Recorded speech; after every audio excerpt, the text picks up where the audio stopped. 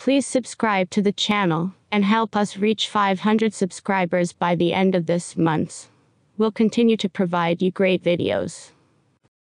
Found out my 29 female husband, 31 male, attempted to invite an escort over while I was out of town with our three month old son. We've been married for a year.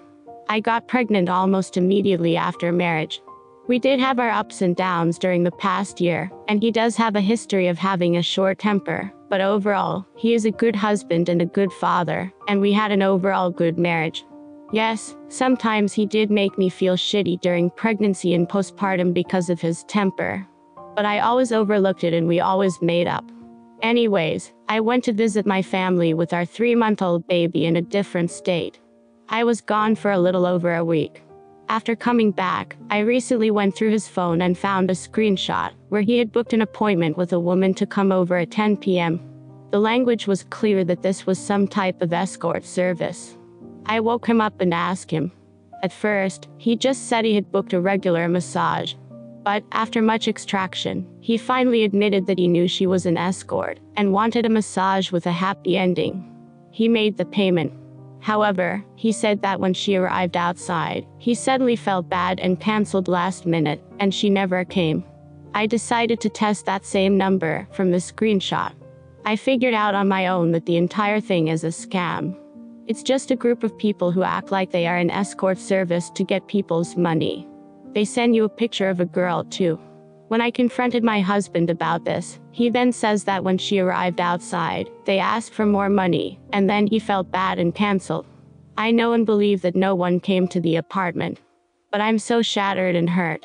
I trusted him 100%. I never thought he would do something like this. He's a family man. If this whole thing wasn't a fake and it was an actual real escort service, then she would have come and he would have messed around with her. He says that he is ashamed and is willing to do anything I want to make this work. I just don't know what to do. He also seduced me and we need up getting intimate and id. I feel like I should have controlled myself, because he doesn't deserve my body. Id what to do or fee. Share your suggestion in the comments below. My 23 female best friend, 23 female, has gone insane since I met someone. For context, we've always been extremely close to the point where we are frequently mistaken as a couple. We live together and spend most of our free time together too. She is bisexual, but has always insisted she isn't attracted to me, and until very recently I have always thought I was asexual or something. About two months ago I met my now boyfriend, I don't know what came over me, but for the first time in my life, I found someone else attractive, and it was like I went feral. I spent the night with him and then the next two weeks after that too. He even bought me new clothes so I wouldn't have to go home. I text my friend the first night so she knew I was okay, but I was busy so communication was a bit spotty after that. When I did eventually get home, she lost it on me. She tried to frame it as concern at first, but when I said that I was in regular contact with her, and that I'm an adult, she started attacking me instead, and implied that my behavior was weird and unstable. We have literally never fought in any capacity before, so this came as a shock. I assumed she'd had a bad day and tried to let it go, but since then she hasn't stopped. She's been constantly taking jabs at me, taking jabs at my BF, doing things to annoy me intentionally, making up rules for me that are completely inappropriate, I have to spend twice as much time with her as I do with him. If I get pregnant, I have to have an abortion. I can't spend nights or weekends at his. I can't move in with him for two years. I can't marry him for five. She's making up bullshit reasons for why I owe her large amounts of money. She keeps waking me up when I'm sleeping to complain, etc. She's gone completely unhinged, and I've been avoiding her by hiding at my BFs for now. She keeps sending me passive aggressive texts about how I've abandoned her and is guilt tripping me. All my stuff is still there so I can't avoid her forever. Just what the hell is happening? I'm assuming this isn't fixable, but I'm at a complete loss at what I should do. Help, please. Share your suggestion in the comments below. I, 33 male, broke up with my GF, 35 female, because we had lifestyle differences. Was it the right decision? Two years after separating from my ex wife, I thought I could start my first serious relationship with a very thoughtful and wonderful woman. It was also her first relationship in two years. The last one ended poorly. We dated for three months and I felt like our relationship was going very well. She's funny and understanding of the issues I've had with my ex wife, emotionally abusive and a bit manipulative, in the past. We've had such a great time these last couple of months. Every day with her was laughter. We both love animals and learning about them. We enjoyed smoking weed together. We loved cooking and trying new foods. I really enjoyed showing her around the city that she moved to. We saw eye to eye on a lot of personal, political, sociological, and financial issues. Conversation with her was easier than it's been with anyone in a while. Yesterday, after a date, I told her that I don't see how we could make a long term relationship work because we have some lifestyle differences.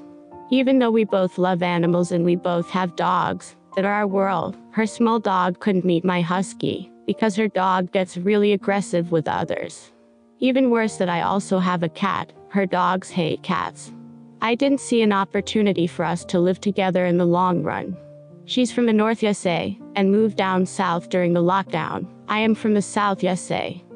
She is not a fan of the heat, and I can easily tolerate it. I love being outside, and this summer has been a scorcher, so we made the concession that we mostly do indoor things. Over time, I felt like I was stuck to being inside. She gets a lot of headaches that are triggered by the heat, from loud sounds, cat dander, and certain foods. I have no problem accommodating someone I really like, truly. But it was a big part of my marriage, and I've had to learn my own boundaries. Her headaches that are triggered by loud sounds were a relationship concern, because I'm really close with a group of friends, they're like my family. Everyone got along, but after three hours she had to leave, because our loudness was creating a headache. Unfortunately, when we get together, we're just a group of loud nerds that like to joke around. I enjoy concerts and listening to loud music to dance to. I didn't see how that could work too. I really enjoy watching popular TV shows, movies, and I'm video games, but she didn't really have an interest in those Harry Potter, Star Wars, Lord of the Rings, etc. It made some jokes or references require an explanation. Otherwise, she loves comedy, and we would watch comedies or joke around together. Throughout our breakup talk, she was so sad, because she didn't feel like these issues were so bad that compromise couldn't fix. I couldn't stop crying and apologizing that I wish I could feel different. I know that I would put myself in uncomfortable situations just to make sure she would be okay and happy, but that's another one of my issues. We ended the conversation with me leaving her place and she said, Don't let anyone tell you you're not amazing.